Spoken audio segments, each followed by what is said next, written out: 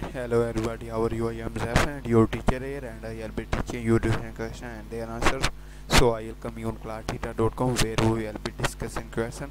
So let's get to the question. So our today's question is how would you deal with uh, an upset customer? The correct answer of the question is dealt customer before best thing best thing to do is remain calm and professional and not make things worse and the customer more upset whatever whatever you can to resolve issue. So that the correct answer of the question if you have any question just leave a comment. I will be answering you as soon as i can. Thank you very much for watching the video. Please do not forget to like share and subscribe our channel. Until next question bye bye